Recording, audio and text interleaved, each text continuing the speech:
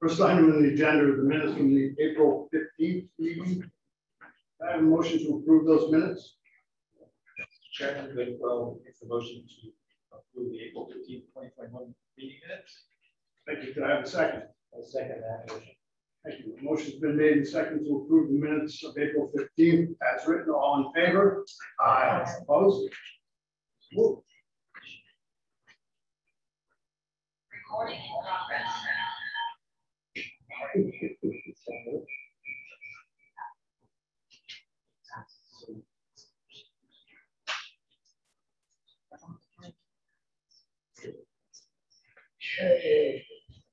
First item on the agenda is under old business.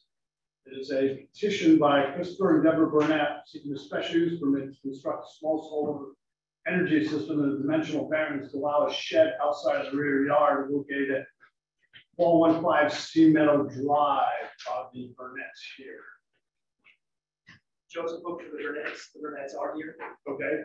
Uh, If the Burnetts are going to speak, you want to swear them in?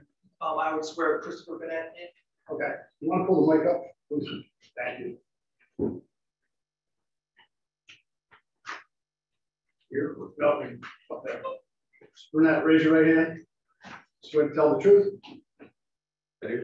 Okay, full name and address to Barbara, please. Christopher Burnett. uh, Current address of question four fifteen Sea Meadow Drive.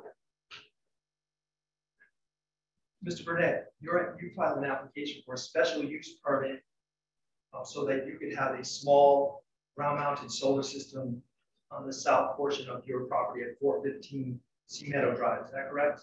Yes, And in addition, you filed a petition for a variance to the extent that if this ground mounted solar system is deemed a shed, you're asking for relief from the requirement that a shed be, that, that the structure be in the rear yard, because be in, in the rear yard, is that correct? that's correct. And you put this, this ground mounted solar, uh, system structure uh, in the south portion of your yard at four fifteen Sea Meadow Drive, which is your side yard as well as a portion of your front yard, is that correct? Yes. And why did you put the structure in that location as opposed to in the backyard or rear yard? backyard has a, has fully forested with tall pine trees and, uh, uh, black walnut trees, um, the shade there would make the school system. So It's Also a steep hill, uh, Could you try speaking a little It's bit more into the microphone? it's all, also a very steep hill and can be uh, very difficult to construct that structure. And would, would the solar system be effective in your rear yard, shaded area, as opposed to the sunny area of your side yard and portion of your front yard that is facing south? You know, it's shaded all day. The rear yard is shaded. all day. Correct. And what about your, your, your The- the side yard that is facing, that is on the south side of your The property? side yard is a location where um, multiple solar fellows with um, shade measurement tools went to and found was the single best location on the property that had setbacks. And might be able to achieve the desired eighty percent uh, availability due to shade. And the solar, uh, structure that you built, um, is it, um, does it meet the dimensional setback requirements of the zoning ordinance? All of them, Okay, and in fact, uh, it is located, in your petition, you indicated that it's located thirty-eight point seven, sorry, that thirty-eight feet, seven inches from your front yard boundary, Correct. correct? And the setback required is 30 30 foot setback, is that correct? that is correct. And the rear yard, um, you indicated that it's eighty-four feet, seven inches from the rear yard, is that correct? It is, And the setback required is thirty feet, is that correct? yes, And then the side yard where it's located, um, it is, is it fifty-nine feet from the side yard? that is correct. And the setback required is fifteen feet, is that correct? That is correct. And the existing lot coverage, not including the structure, the solar system structure, that for all the buildings that you have there, um, Okay, Mr. Cook, could I interrupt you for a minute? Sure. You're going over a number of uh, dimensional variances, yes, but this has other than the, the, if it's deemed a shed, you're here for a special use permit. That, that's correct. Okay, so I'm trying to understand where the dimensional variances come, come into play. Um, the setback requirements for a small, the small solar system under the zone, the solar zoning, zoning ordinance Right. must meet the setback requirements under. the Well, I. I understand that, but you haven't gotten into the special use criteria. The ordinance, the ordinance itself requires that you have a special use permit for ground Wait. mounted solar. Right, and that's what we're here, but I haven't had any testimony at all whatsoever about a special use permit.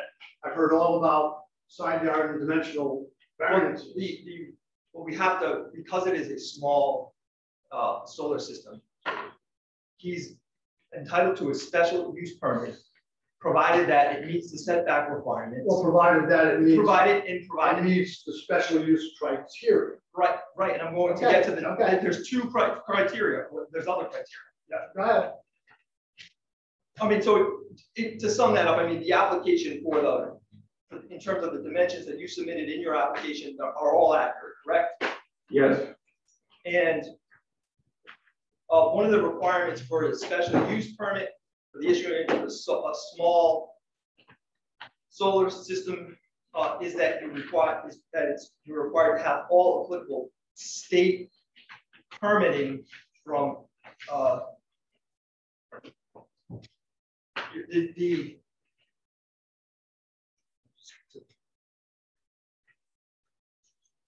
All right. Now, the system that you built, Mr. Burnett, is it consistent with all applicable state and federal fire and electrical safety codes? yes, and I've done this before, so I know it is. And um, now, you do not, have not yet obtained the statewide solar building and electrical permits, correct? I have not because the uh, fifty pages of state permitting requirement documentation was submitted to the town of Portsmouth Building Inspector's Office in May of two thousand and nineteen. Was lost, resubmitted in October, was posted on the electric bulletin board in December and has never been submitted to anybody beyond that despite a formal written request to do so. So, Mr. Burnett, you're, you admittedly do not, you have in your hand the statewide solar building and electrical permits. Yeah, is that correct? That is correct. And as a condition to the granting of this special use permit, because your, your structure was built before you brought this application, correct? It was built before there was an ordinance in the town of Portsmouth. It was eighteen months ago before. But, but is a condition of you get it, obtaining your special use permit, you would obtain or seek to obtain the statewide solar building and electrical permits from the building commission, correct? I have done so repeatedly. But you haven't yet obtained them and you'll continue to seek those items, correct?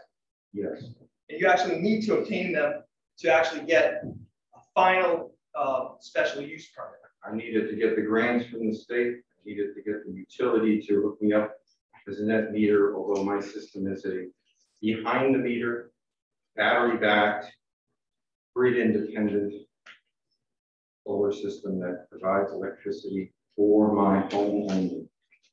And by the way, the, for a small solar system, um, under the current ordinance, uh, Portsmouth ordinance, you cannot have more than sixteen hundred square feet of solar panels, is that correct?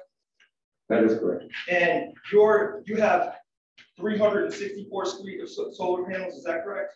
Less than one quarter, And it- that's three hundred and sixty-four feet, correct? which is why I only produce about sixty percent of my electricity. I'd like to produce more.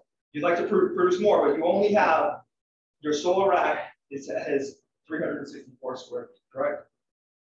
Yes, it's actually uh, a solar rack that's three hundred sixty-four square feet, and then there are two solar panels on a, uh, on another small garden shed that's never been sited or in contention. So it's a total of twenty-four panels, twenty-two on the rack, And this, larger rack. and this, um, solar rack that you built adds an, a- an additional one point five two percent of lot coverage, is that correct?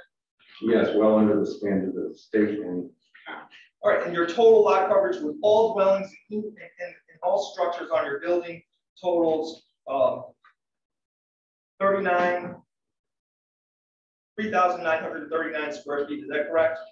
yes, I believe that's seventeen percent. Of a lot of trees and lot bushes. All right, that's seventeen percent of your total lot coverage, correct? Yes, Now, in terms of, uh, you, you put the solar panels up there, you're looking to generate solar to reduce uh, the harmful effects of greenhouse gases in the environment, correct? correct. And you tell us about whether this particular solar structure is visible from the street. No, Why is it not visible from the street? bushes that are about eight, to ten feet tall. I built so that you can't see it. By the way, how tall is the solar structure, solar rack structure that you built? Eleven and a half feet, twelve was a requirement in the ordinance finally passed. All right, Twelve is the requirement and yours is below that, right? correct? And by the way, the solar rack structure, um, can you describe how it, uh, it, it has a, um, is it, does it have a foundation?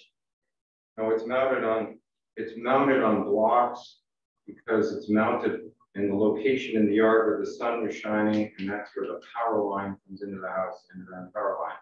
It's also located on blocks because that's where the septic system is my yard. It's also located there because the new NEC code requirements, since I put the last one in in my home in New Hampshire, required you to have a cutoff for a DC-based system. This is fundamentally different from ninety-eight percent of all solar systems you'll see in the state, which are AC connected systems. Right?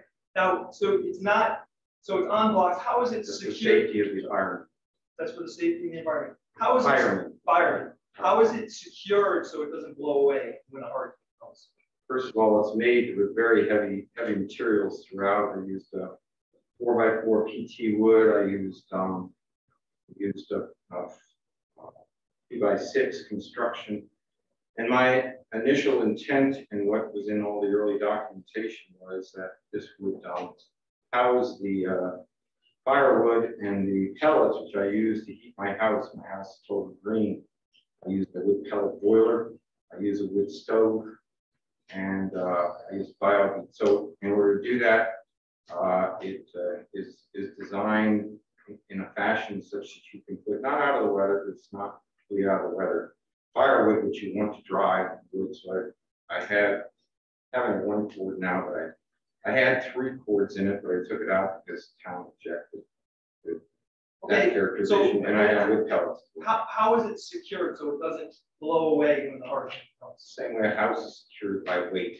I wait, and you, what sort of weights have you Well, it's, it's very heavy because the, uh, the structure itself includes only uh, beefy, uh, construction techniques like uh, through bolt construction, hurricane tie downs, but it's also, uh, designed with, uh, of course, all the solar panels at the top of it, all the metal stripping, all the, uh, roofing material and so forth, all the place like a house. But in this case, instead of the house sitting next to it, which has had storm damage from all the hurricanes have gone through since I've been here. Placed twice on it. It's not nailed together, it's screwed. It's not, uh, nailed together at the, at the beams, it's bolted with through bolts. Each of the panels are, are connected to a pressure treated two by four with stainless steel bolts at four points. And then those are then through bolted through the roof itself. One of the advantage, several of the advantage of doing a ground mount is that um, you uh, can uh, not have to worry about leakage in your roof that you would in a normal house over time, as the roofing ages. Other advantage is that you are not subject to lightning strikes because the structure is grounded and the house Tiverton just burned down last year, and that one happens all over the country. Electric on the roof, it also is easy to clean them. I've done that before because they get dirty. It's also easy to get the snow off, so the effectiveness of winter. It's also easy to repair the wiring. I've done that with solar systems as well. Got all the tools and so forth to do that. All of these factors, including broken panels, which I've had from branches, can all be done on a ground mount much easier, and it is far safer for the emergency personnel because it's obvious, it's there, the cutoff is right in front of come to remove the meter. So, by the way, now, does it have, it has a, a roof, is that correct? That the roof is where the solar panels are It has a PT, uh, uh, pressure treated wood with a roofing cover, cover on it, and then, uh, special secondary roofing material on it as well. Did, did you, um, And then again, it's, and the entire thing is through voltage, which is not normal with that roof mounted solar system. does it have, other than the roof, by the way, what angle is the roof? 40 43 degrees optimized for this latitude, so that you can get the maximum amount of production out of it, which is not possible in the roof of my house, which both face east and west. So from, from the peak of the, the, from its height at 11 and a half feet tall, it pitches downward at forty-five degree angle. Basically, To, yes. to the ground, essentially. Basically, yes, I did, I did a, a small bend at the top to get under the twelve feet,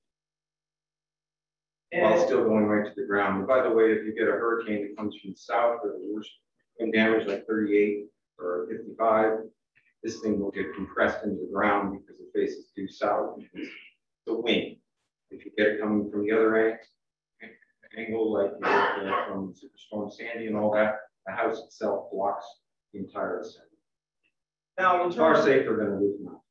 are there doors to, to, to the structure? No, potentially so. But does it have a subflooring?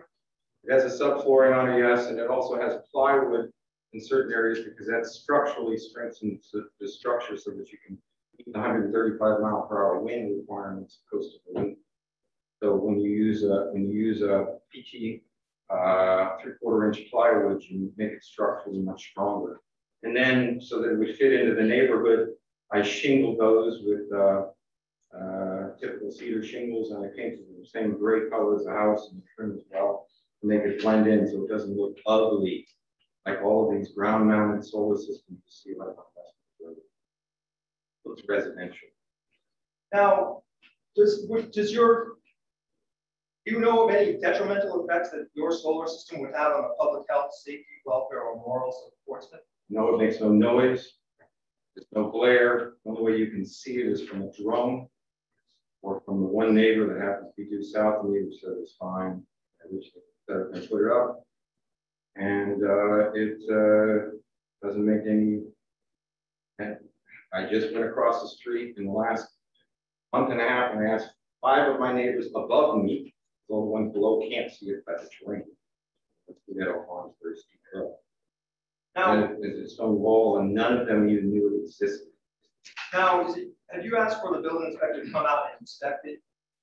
Four times in the first month after he cited me back in May of two thousand and nineteen, I went up to him and first I did it, I did it in writing three times that month. I've done it, I've done it each court meeting. Now, is it your understanding the building inspector won't inspect it till you get approval from the zoning board? That's what his position has been, uh, since about one year ago.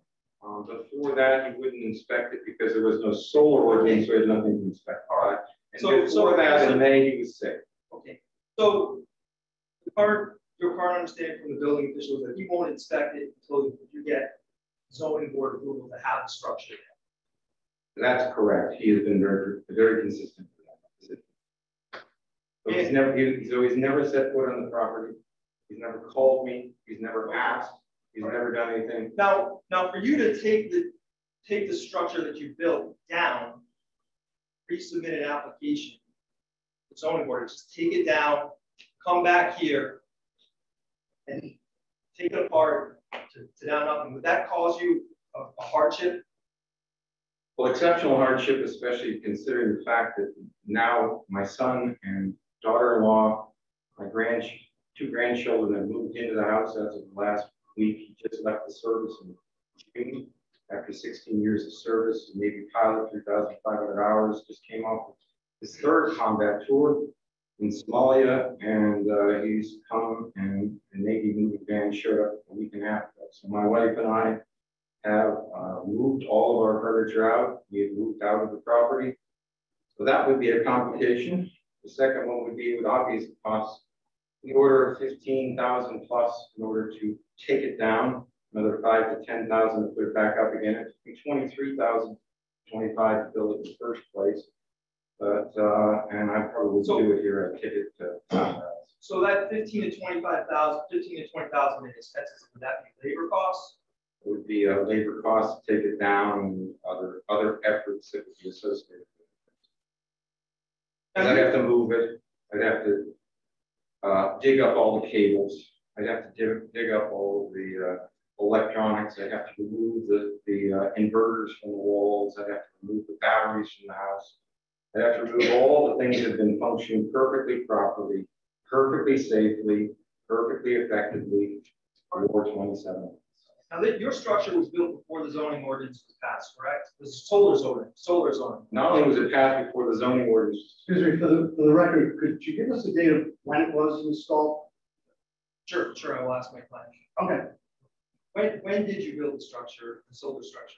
solar structure was built between April and uh, mid-June of two thousand nineteen. The solar system itself, I commenced purchasing in two thousand eighteen after the state of Rhode Island had approved battery back systems. For that, they were on the fence about whether they would allow it, but they did in January of two thousand eighteen.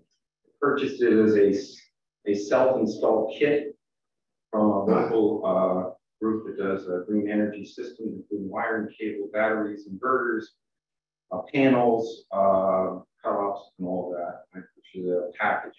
So in the fall of two thousand and nineteen, I commenced the re-electrification of my house because this was all set up to run ninety-five percent of the circuits in my house through the battery back converter system. And I um, completed that in December. And then in April, when the weather cleared, I went outside in order to uh, put the last piece of the system together, which was the um, solar capture uh, capability for a solar rack. And, um, And by the way, ballasted ground mounted solar rack is a standard term in the solar industry. It's used all the time for solar systems that can't be dug into the ground. For example, if you go look at uh, Walmarts or you go look at big stores, they put. okay, and this is a ballasted system. It's this, it, it was intended to be a ballasted system, but the ballast was what caused continu- continuous contention with the building inspector. One of the reasons why we're asking for two variances here. One, the special use variance for a ground mounted system required under the new solar ordinance passed eighteen months after this completed. And the other is for a variance to allow me to have basically a woodshed so that I can put the wood on it and so that it can be held down in case there was any possible risk of 100 and 250 mile an hour winds blowing this thing from the wrong angle. Keeping in mind, for most of the angles, it'll actually put it into the ground, not out. And it's built way better than the houses built next to it. Now, when you were, um, you actually were here over a year ago or about a year ago. Special use, I attempted to come here, but I was not allowed in the building. Oh. you had an application, you did it remotely, We attempted to go to the July zone, uh, uh, zoning board meeting, but, um, my wife and I have never done Zooming. We did, we didn't quite get that one uh, electronically down right with our DSL from New Hampshire. We did it in, uh, August of two thousand nineteen, prior to the ordinance being actually finally committed and put into code. So it was actually heard on August twenty, uh, twenty, twenty. so you were, it was heard on August twenty, and you were denied the special use permit at that time And a three-two vote because of the lack of inspection. Because, because it wasn't Specific But you're willing to have the inspections, the, obtain the requisite state state, statewide solar building, building and no electrical problem. permit set forth in the Nothing order. to hide.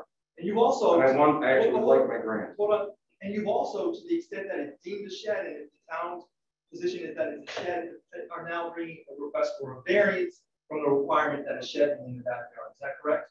That is correct, and I believe there's also a size issue too, because if it were, were a shed, you have hundred and sixty feet square feet of footprint that's allowed, but in this case, just in order to mount twenty-two solar panels at forty-five degrees, it's larger than that footprint.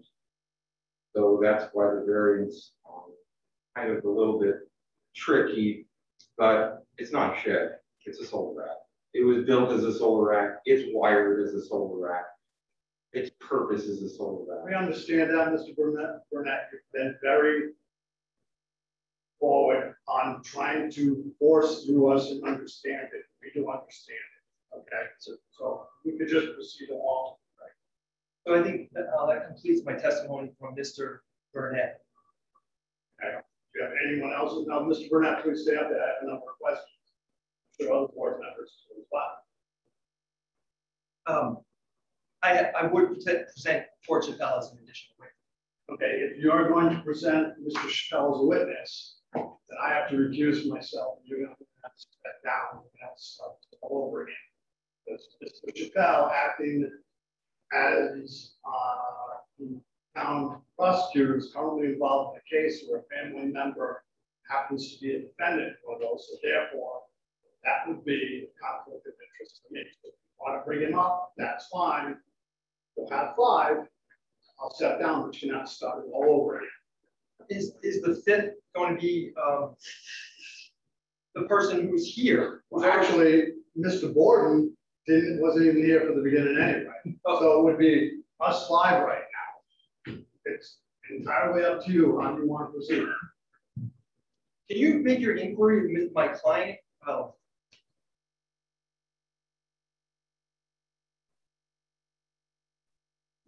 I answered the questions you might have. Oh, I, you can answer the questions, but he was gonna bring Mr. Chappelle well, up. I would, I would bring, bring Mr. Chappelle up after you answer, my client answers your question. If you bring him up and make him part of this, I can't participate. I read it. Conflict of interest. Right. I, am- I'm hearing you. And you would have to start it all over again. Because we have no quorum. At that point. Right, exactly. Okay, that was point. Not his witness. Like I said, is not coming out. Happened. Or ask the prosecutor, history and travel of this case. What specifically is needed from the building inspector to proceed. To him calling me and calling me. You got his the witness. microphone for, I'm gonna defer to Kevin. Yes, Right. Kevin? voting as a witness. Right, I, Right, I wasn't exactly. expected to be called as him as a witness. I would have stood up for quite frankly, clarity purposes and said, here's how we got here. Right. You know, explain the history and travel in the municipal court. What has happened? Well, How we, the we heard that before in the original one. Well, how the building inspector did it, Right. the building inspector is going to do. Some of it was, there was a three two vote regarding approving this after I wouldn't go too much further, But you know, just, I have, I have a right. five minutes of what happened and why, and what I believe needs. Not what you do, I can't, I can't even entertain okay, much more, so it's entirely up to you, Mr. Cook, what you want. Well, I, I'm not gonna call Mr. Chappelle. If Mr. Chappelle wants to add, Well, if he adds anything, I have to step down. I'm not gonna add something. Yeah, so, I actually believed that it would help. And if it wasn't, I had, I had no idea you had somebody on my calendar either, but yeah. So. Mr. Chappelle, just, that may affect other things tonight, I will have to step away. Okay. All right, so Mr. Cook, you can proceed without Mr. Chappelle, right? I'm gonna proceed without Mr. Chappelle. Okay, then I have a number of questions for Mr. Burnett. I do, I'm sure there's other members as well. So, um, Mr. Burnett, um, are you a uh, registered engineer at all? I have a BS and I built homes, built my own home. I'm, I'm just No, I do not, have- I'm not a registered engineer, no, that is correct, so you're not a structural engineer. No, but I know I can do Okay. construction as, as to, Are, are you a licensed electrician? no, but I hired them to do my work. Okay. Are you a licensed regis- uh, registered renewable energy professional in the state of Rhode Island? No, Okay. So, structure was built in 2018, 2019, prior to the ordinance. Everybody's relying on the ordinance. Are you aware that in 2014, the state of Rhode Island instituted a new law requiring anybody to install a solar system, whether it be ground mounted, whether it's small, residential or large, is required to have a license in the state of Rhode Island. As one of myself in the refrigeration trade, I have that professional license as well. Okay? Those people are allowed to do what you've done. With the exception of any electrical. I could find no one who could do an off-grid system, I tried. Eight different people. Well, None of them had experience in that particular arena. They all wanted to do a different kind of solar system. I also hired two of them that were supposedly licensed in New Hampshire. I had to take one to small claims court because he had no clue what he was doing. The other one did it wrong. There are a lot of unique attributes of DC-based, off-grid, battery-backed systems that are beyond the scope. Burnett, of I'm not even talking about the electrical right now. I'm talking about the structural Just part. said, you asked about electric, so I'm talking about the structural part. So it was installed by an unlicensed person. it was assembled by me and an unlicensed person. That is correct. Okay.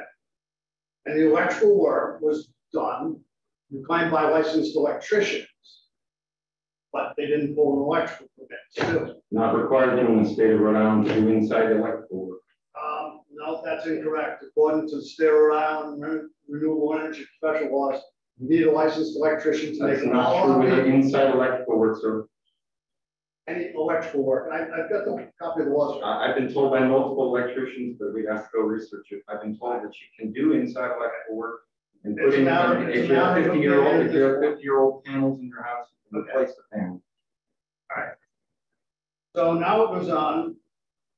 And I'm going by your application. And we'll talk about the balance. So if for some reason the wood wasn't allowed, what could you alternately use as a balance? I offered to the tap, to the building inspector that I put gravel in if they wanted. Okay, is there any design as to how gravel would be held in?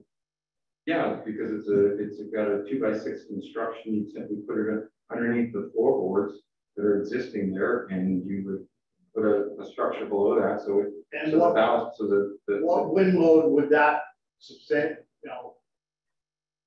Well, more than the roof on my house, or, But that, again, is speculation because you're not an engineer. And my point to all of this is, I was one of the ones that voted against it, I know you were, okay? And part of it was, under this, is that it will not create a nuisance or hazard in the neighborhood, okay? And I haven't seen anything that's changed from the original one that says, oh, it's structurally sound, it's electrically sound.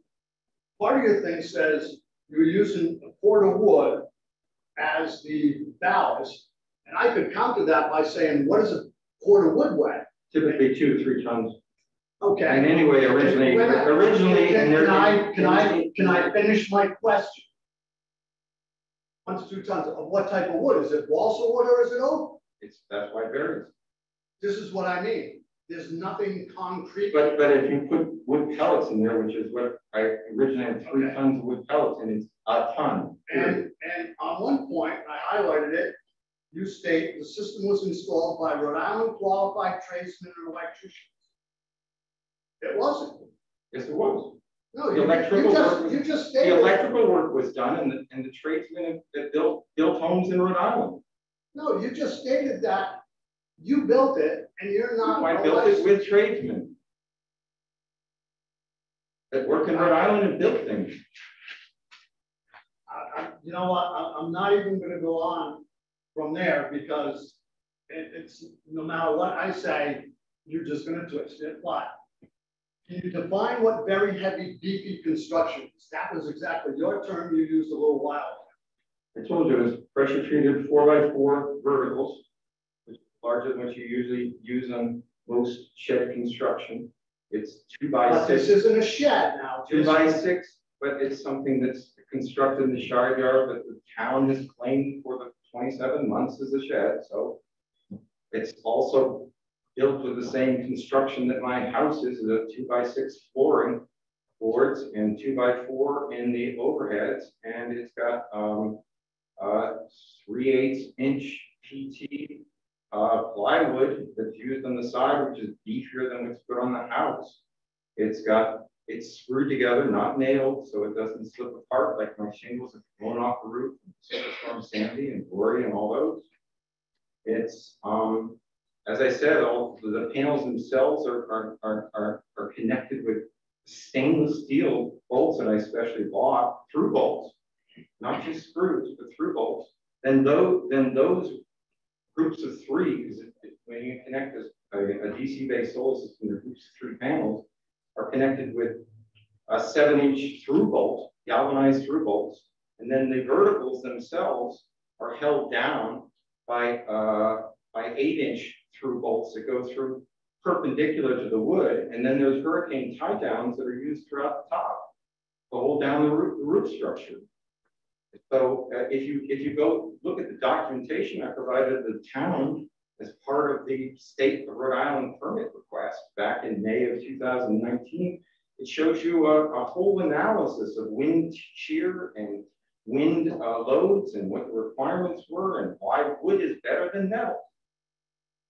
Typically what would happen, somebody would put in a top of pole mount in such a situation, you'd have to put three of them.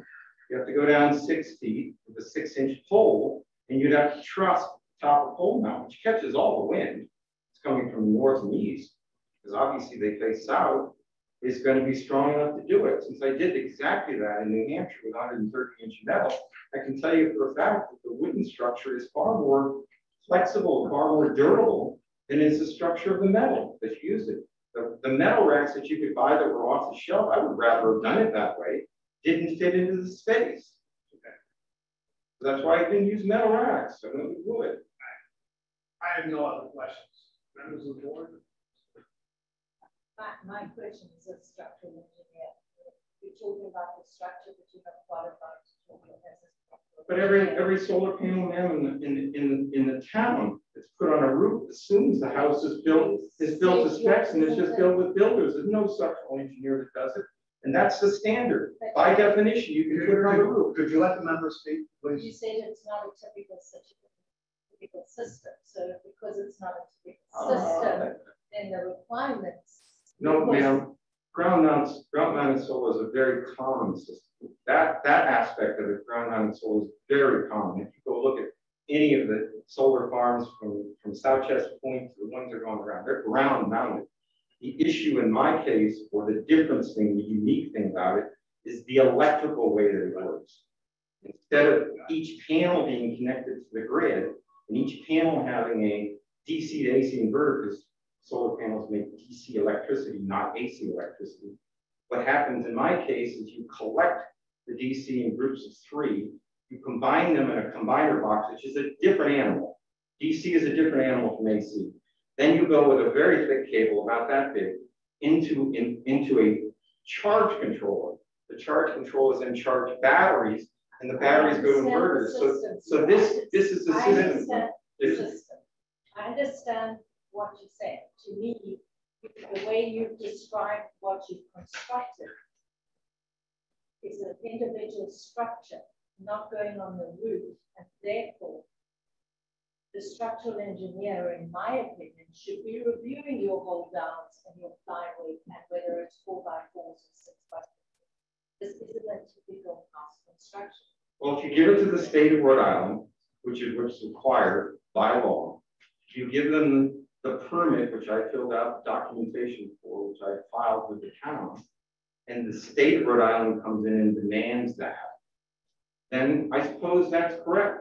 But I don't believe it is the uh, requirement of this review board to determine what is rugged enough or what is not. The reality You is. are, Mrs. Burnett, you are hundred percent correct. But what this board is, is to determine whether it meets the special use criteria. One of them will, it will not create a nuisance or a hazard, okay? Mis- we're- Plain and simple. Mr. Mr. Knott, that, Yeah. we're, we're asking that this approval be subject to my client getting the applicable permits. He's sort of in a, in a- he's in a, in a, in He's asking for a special use permit for a. The questions we're asking right now would be no different whether we're in the situation we are now, or whether he came before the board asking for a special use permit to construct from ground zero. Same questions, but same exact But, question. but, but the, the problem, the difficulty is why if you start from ground zero, is that the building inspector won't give the issue here permits because it's already built. He won't So let me, let me just, let me, let me Okay, just, well, let He won't inspect let because me, he, let me, let me finish. So I want to get my point. Because it's already built and he doesn't want to endorse something that's already been done legally or without the, the proper zoning board review. We're not, so he- he won't, he, he's, has to tear it down before he can even have. No, no, no, but I'll tell you what, that someone just dropped in the middle of the packet, an inspection by a structural engineer that stamped and certified that says, I've inspected this. This is structurally sound. Oh, okay. By a licensed electrical engineer says this electrically is sound. So, so Totally different. that, that, I've got nothing but it's beefy and heavy construction. No, actually, sir, I I provided three-dimensional drawings as a result of the, of the. I court get that. I can make drawings myself, Mr. Burnett. I can make drawings as well. But it doesn't mean I'm a certified engineer. I'm not doubting you can build it. Mis- Mr. Knopf, your point, that's a good point. So in, in addition to asking for the requisite state building permits, the rec, the, the permits that are required by the ordinance, I'd ask that you make it subject to structural engineer and an electrical engineer saying that this is that. I think, my, my guys. Why not? Why not ask for a continuance and get that? Why should we approve it with a contingency? Why not? Well, I'm not gonna be able- and Get it. I- That, I'm not gonna be able to get the permits, I'm not saying the permit, but but, but the, the second part, I would ask to continue. that's your option.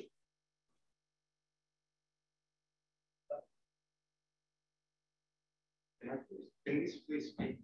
Yeah, go ahead, take a second. Private.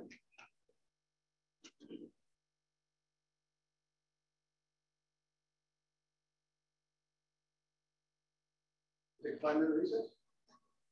We'll take five minute break.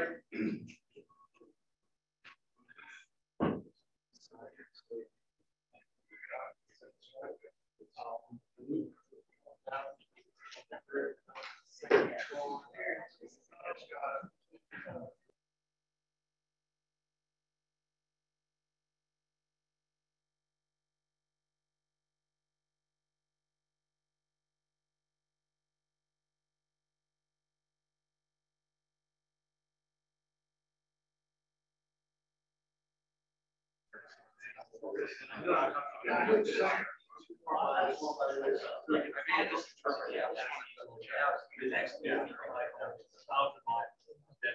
I don't think I want to.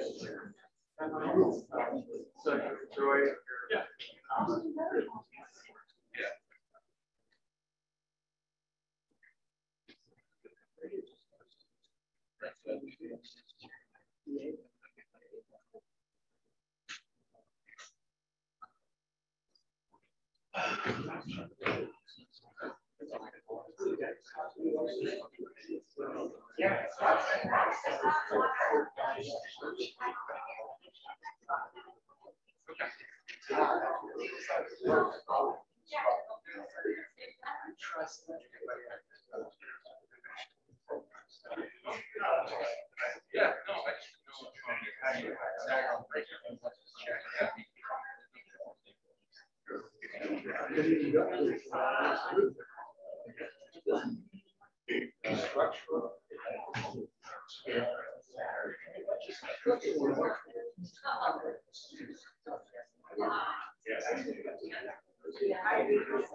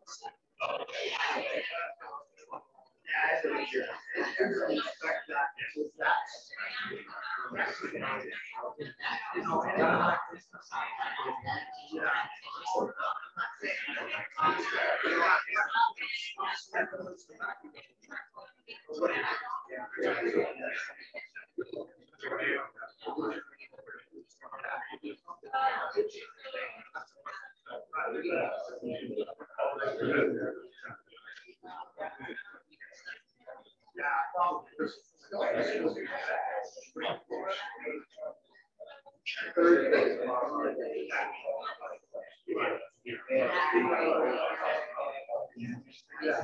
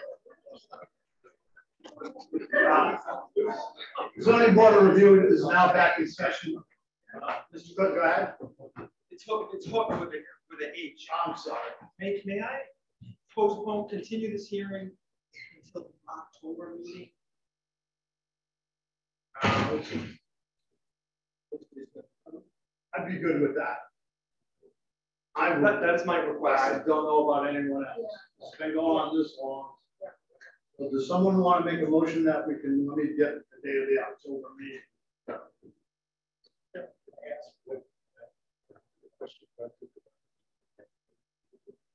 Absolutely, Mr. Hood. That would, that would give us time to address Mr. Knott's, uh, question as well as Ms. Horowitz' question regarding an engineer's report in regards to the structure. Is it Mr. Hook? Hook, Mr. Hook. I'm not quite sure how to express this, but it seems to me I would have two areas of concern. The, the design is one, thing, which I think would be covered by an engineer, either, a, you know, a structural engineer or something like that. But the other part of this is the actual implementation. When there are things buried in the ground or things behind covers, how do we determine? Ordinarily, you would have an inspection process that we look at, at the things as they went along. In this case, we have a system that's already embedded in walls, already embedded underground. So a, a, an engineering report that examines the design says nothing about implementation. Well, let me ask you, Mr. Burnett. If I might, Well, everything, everything's visible. Yeah. All the wiring's visible, all the bolts are visible. So no conduit's Every- buried There's or anything? nothing, there's nothing except when it goes into the ground from the place, it goes underground to the house ten feet. You can dig it up. Right, and that's just the electrical. That's just a, co- it's a cable which is also in a conduit It's a well. shielded cable, It's a shielded cable in conduit. so I. And, and you can see it going into the ground, you can see it coming out.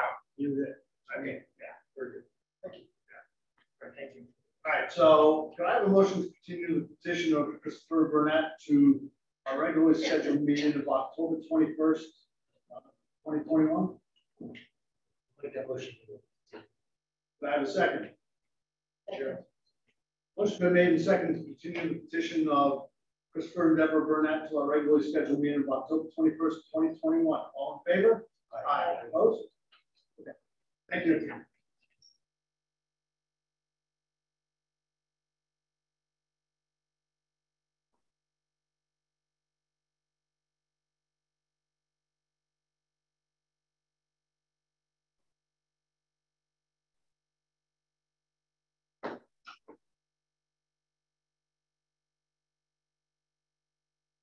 Next item on the agenda is the appeal of Mark Goulart, uh, Bradford C. Gray and Marjorie Gray, appellants. Um, I'm sure the attorneys are aware that I have a conflict with this, as does Ms. Horowitz. We just learned that, Mr. Chairman. So therefore, we won't have a quorum to hear this tonight. Understood. Now, my situation could potentially, in all likelihood, Resolve itself. be resolved itself within the next month's time, Understood. okay? And unfortunately, we only have one alternate because no one from the community has come forward. I understand, and, and again, uh, we just learned of this uh, a few minutes ago. So, you know, unfortunately, it's something I thought of on the way here tonight myself. Yeah, understood. Didn't even- So, um, thank you, Mr. Chairman. All right, so with that being said, could I have a motion to continue this petition to our regularly scheduled meeting of September sixteenth? So moved. Could I have a second? Second. Motion been made and second to continue the appeal of Mark Bullock, trustee Bradford C. Graham, Marjorie Gray to our regularly scheduled meeting of September sixteenth, twenty twenty-one. All in favor? Aye. Opposed? All right, folks.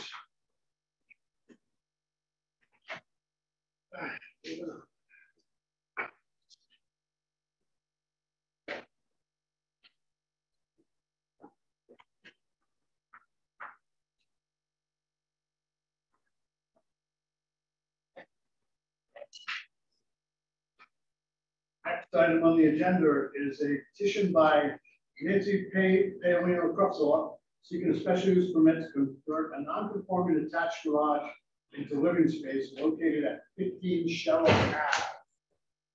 Good evening. Please raise your right hand. Name and address for, Nancy Paleo, Cala fifteen, Cheryl Avenue. okay. To the board, what you'd like to do. I would like to convert my garage into a family room.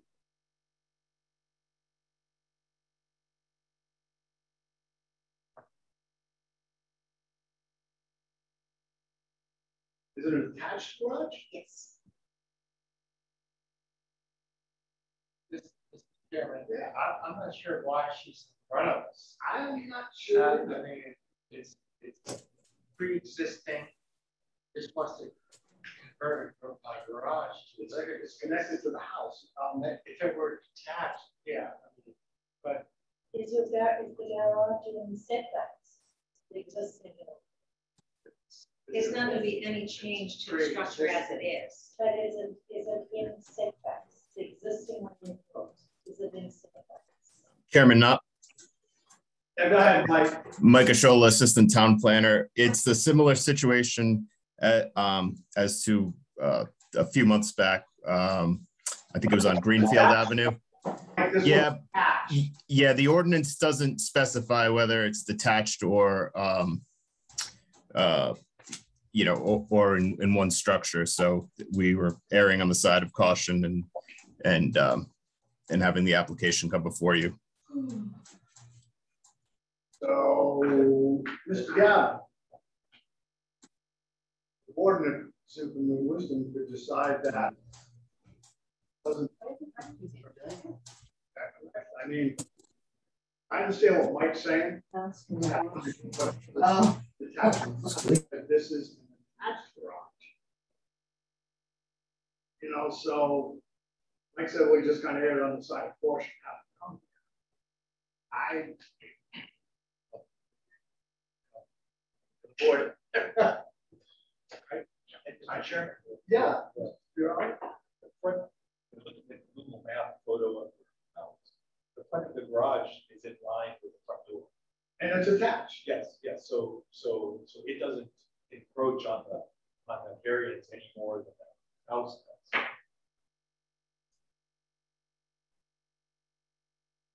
Um,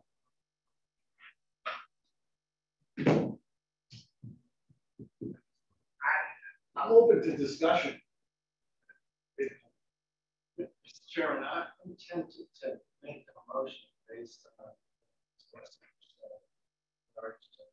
the board's powers. Um, appears as though she doesn't need to be in front of us, and and I appreciate our assistant planner's due diligence to err on the side of caution, but my thought is that uh, I'm not sure if this board uh, needs to be involved.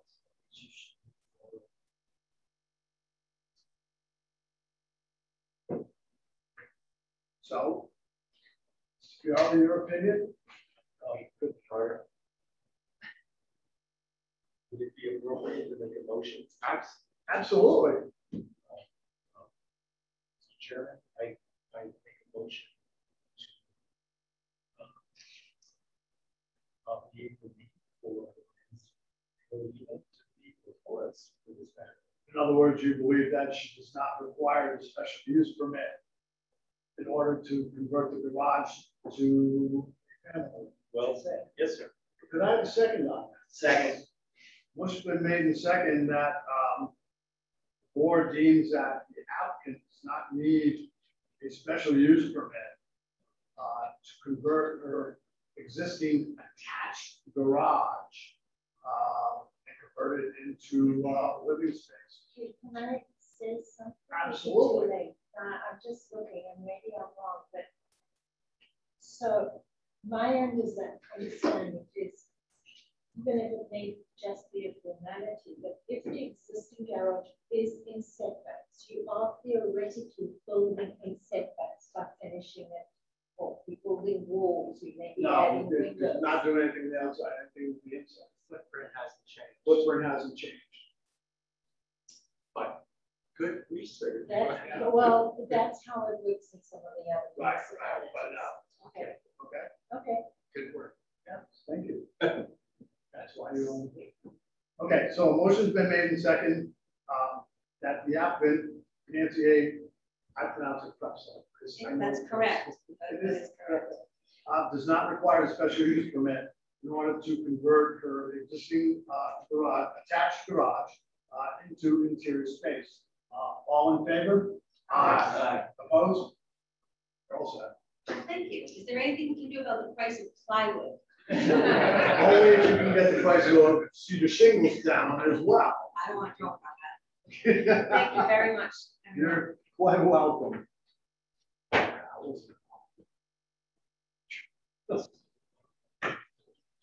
Okay, next item on the agenda is petition by Christopher and Mary.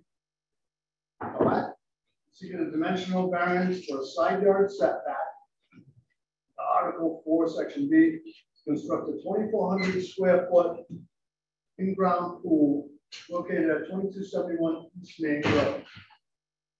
Did I pronounce your names correctly? Coed, Go ahead. your French name, I don't know if that's correct, but Raise your right hand. Uh, I'll go with, she's the engineer, so I'll go with her. okay. Raise your right hand. Swear to tell the truth. Sure. Full name and address for Bob. Uh, Mary Collette, two seventy-one East Main Road. In Portsmouth, Chris Coed, twenty-two seven one, East Main Road. Okay. For the record, um,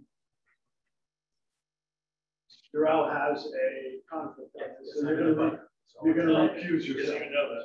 Oh, no worries. Hi, neighbor. Were my kids too loud? Okay, so why don't you tell the board what you'd like to do? Yeah, we'd like to put in a pool. Um, it's twenty by forty or, or something within that size. Uh, our backyard is quite large. Uh, there's woods on the side, so we're really not that close, uh, relative to other houses. And, uh, we do have a septic system in the back, so, uh, just depending on how you look at it, it gets a little bit close to the septic and the setback on the. uh, Okay. I'm a little confused. You said the pool's twenty by forty? Yeah, I think there was a How did mistake. we end up with? I'm not sure. What is it? Because Put an Olympics size. I, I was sitting there going, what are we, is this like SeaWorld North? Well, All right. I included the, like a surround, I just kind of boxed out an area that would be the pool and patio. So I think it was accidental. So. I think it's really like the whole change, yeah. Okay. But the pool itself is roughly twenty by forty. Yeah. So eight hundred square foot pool. But including, and I guess for lot coverage purposes, everything around it, the landscape comes out to about roughly twenty-four hundred square. We do have to take into consideration lot coverage. But still keeps you below, so you don't require any lot coverage. So what you're seeking is a fifteen foot side yard variance. Just, in the side, so. You want to. So our, well, our, no, our yard, our lot is kind of a weird shape, so we have a long skinny part that comes out to East Main Road.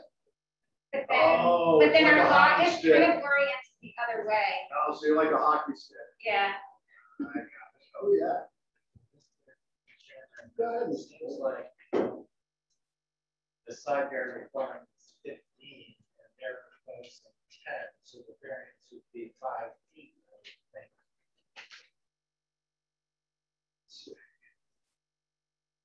Oh, um, If I look at the dimensional variance petition, right. it states that the side yard setback requirement fifteen. uh, Proposed distance ten, which would be, um, five foot. setback. Variance. first.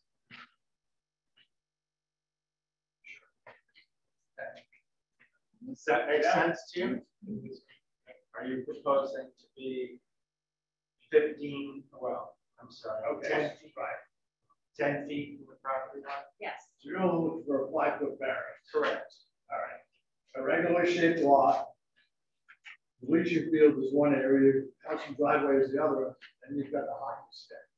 That's pretty much it. Pretty much it. Anybody else have any questions? Um, Let me check the files. I know there's one abutter in the audience.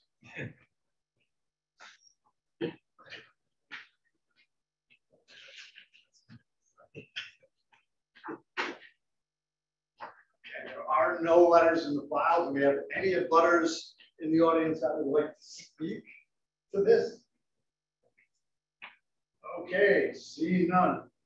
Uh, Chris and Mary Coet are before the board under tax assessors map thirty-nine, line sixty-four D. Uh, seeking a five-foot side yard variance for the purpose of installing an eight hundred square foot swimming pool in their yard. Uh, Mr. Borden? Mr. Chairman, um, a pool is a reasonable accessory use to a primary residential use. Five foot variance is minimal and to die with a large boiler. So I would to Thank you. Mr. Reposa? We also go to approve Mr. State House Board. Thank you. Ms. Horowitz? I vote to approve for reasons previously stated. Thank you. Mr. Ladika? Vote to approve. Chairman also votes to approve the reasons previously stated by Mr. Morgan as well. Good approve. Thank God it's not a twenty-four hundred schedule. I was just, I was, I was dreading the discussion. That's discussion. a lot of work for That. me. Everyone's invited to the pool. Like a date. Thank you. Appreciate it.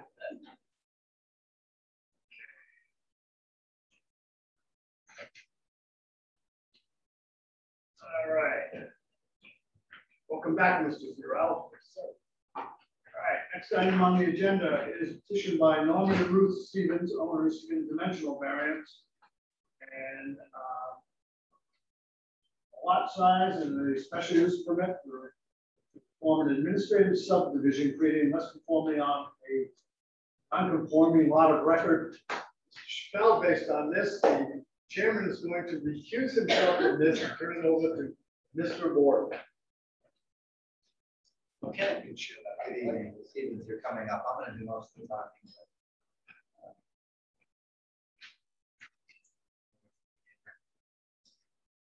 Uh, Mrs. Chappelle, tell us what you'd like to do. All right. So let's start with saying that, uh, my son asked me to go to dinner tonight. And when I said I can't, I'm at the zoning board, he goes, oh yeah, I am too, give me a hand. That's how, that's how I got here. The Stevens own two lots, uh, side by each, over, uh, on the subject property. You know where you are, you are up towards the very northern end of Portsmouth. And you're on Bluark Drive, which is right before, I call it, uh. Can you just talk into the microphone so everybody else can hear? It's right towards the end of Portsmouth, and it's on the right-hand side. The Stevens own two lots, one is owned and occupied by them, and the second is by their son. The two lots are conforming in every way, except that they are twenty-eight thousand and twenty-six thousand square feet respectively. There are, all they're trying to do is to move a lot line, so their son owns the garden he has traditionally been planting. And that they keep their land, because it may become apparent in the future, if they have to sell their lot, they don't want to sell their son's garden. That is done every day of our lives as an administrative subdivision. It's an administrative subdivision, with two lots that are side by side, move a lot line. And it can be done as a matter of right, as long as moving the lot line doesn't make a pre-existing lot more non-conforming. So let's start with the fact that both lots are under thirty thousand square feet. So they're technically pre-existing non-conforming lots. With that said, when you move the lot line, it does not create a lot coverage variance on the new lots. You're taking basically six thousand square feet from parents, Stephen, and adding, making their lot from twenty-eight to twenty-two. And you're adding six thousand to junior, making his twenty-two to twenty-eight. That's it. That lot doesn't cross a septic pond. It doesn't change any electric lines. It doesn't create lot coverage variances. It doesn't create setbacks on anything. There's still a hundred foot setback. When you apply for administrative subdivision, planning board says, we would sign it if we could, but we can't because you don't pass one of the criteria. And one of the criteria is you're making a non-conforming lot, one that's twenty-eight thousand square feet, twenty-two thousand square feet, that's less conforming. Even though you also say, hey, but that 21,000, 20,000 square foot lot, I'm making twenty-six, I'm making that one more conforming. So it's really just kind of a swap from the kid's lot being as non-conforming as mom and dad's was, and mom and dad's lot now being less conforming. But other than that, it's the, we need a single variance that says that we are creating a lot that is less conforming.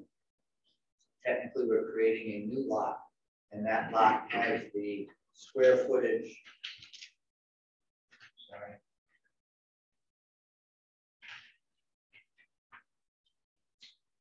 And it goes from twenty-eight thousand.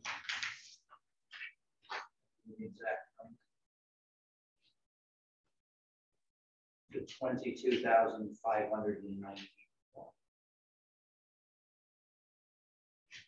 And that is the only variance that you're creating a thirty thousand, that if we were coming in in a new subdivision, it'd have to be thirty thousand and would say we need a dimensional variance to go down to twenty-two, and we would have to say it's more than a mere inconvenience, and it's the least relief necessary. Yep. So in this case, we're not doing it for financial gain. Last I checked, giving land to your son is never a financial gain. And we're really just doing it to make the reality of what is happening in the field and what has happened in the field over the years, the truth. It would be similar if we had a neighbor that had been kind of adversely possessing that six thousand feet for for the last ten years. But obviously, it's been with permission by the son. So it's, it, I think from the variance point of view, it's really more than a mere inconvenience. So don't you want to sit down? Are you sure? It's, it's okay if you, uh, we don't mind if you, it's easier. for you. Sorry. This Carry normal. Thank, Okay. thank you, thank you for mentioning that. I, I agree. Feel free to sit down. No. Oh, Carry. So that's really all it is, but I think the actual standard of the least relief necessary more than mere inconvenience, the desire is to allow the children to have what they have been using over the years. You're certainly worried about if something happens to the Stevens and it has to be sold, they want to be able to create the situation where I'm not selling my house anymore. So they're really fixing the lot lines to what they have really historically been by agreement. And because to me, if a tree falls in the middle of the woods and over here will fall. You're just changing the lot size. It's nothing is, the neighborhood is no more or less non-conforming. Because of the non-conformity, it also has the article six, one through four. Everything is exactly how it is. So fire and safety are still maintained. There's adequate uh, protection for fire and safety. You still, there are no setback variances, so you obviously are still average more than the setbacks in the neighborhood because you're twenty percent compliance. And all of the houses in this neighborhood, both on Goulart and on Marshall Drive, we put the square footage in, they all were pre-existing non-conforming when they swatched and made it R thirty. They all averaged 20,000, 28,000. So it's still right in with the average of the neighborhood. So all of the criteria are six or as well. So, Mr. Chappelle, um, under the petition, I see dimensional variance and special use. Is your dimensional variance due to uh, non-conforming lot size? So you need to go through the criteria of substandard lots of record? Is that correct? The special use permit is the substandard lots of record, which would allow That's adequate correct. space for fire provide adequate light, yeah, that's what that's for, that's what I tried to. Okay. And variance is merely because if this were one big lot and we were trying to divide it into two, we couldn't meet the criteria that both are thirty thousand square feet. Okay. And we're taking a twenty-eight to twenty-two, and we're making it a twenty-eight to twenty-two the other way, that's it. It only really necessary. Okay, board members, any questions? Um, abutters or interested parties? Uh, Mr. Chappelle, do you have anything to say before we vote? No, thank you. All right, All right, Mr. Farrell. Chairman, I vote to approve both the dimensional variance and the special use permit for substandard lot record. This is a very simple case of, of a lot line shifting from one lot to one, of a lot line shifting in between two lots. Uh, uh, I understand the need to do the, the special use permit because two lots remain substandard, substandard lots. But um, has no impact on, no adverse impact on the neighbor, and it's good for the residents. Thank you. Uh, Mr. Post. I also move to approve conventional and special use. Ms. Morris.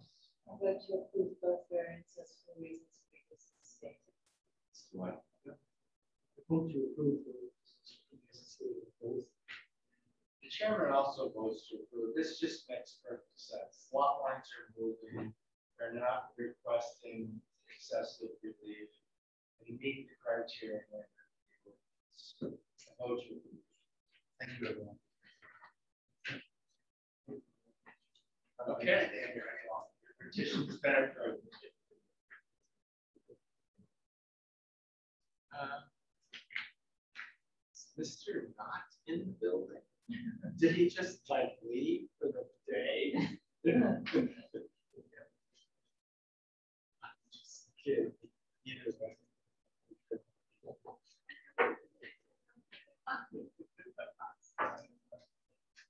right, so. Yeah, Absolutely, great. Yeah, four, five, six. Oh, that was fast. Okay. Thank you. Chairman's back in. Next item of the petition uh, on the agenda is a petition by Christopher Kane owner, seeking a dimensional variance of side yard setback in a special use permit to construct a twenty-four by fourteen shed on a non-conforming lot of record located at fourteen Brant Road. Okay, I'm not even gonna ask you to raise it. Swear to tell the truth? Okay, full name and address, Bob. Uh, Christopher Kane, fourteen Brent Road. Okay, uh, Mr. King, go ahead and explain to us what you'd like to do. Um, I'd like a five foot, um, setback. My neighbor signed off. My buddy neighbor signed off.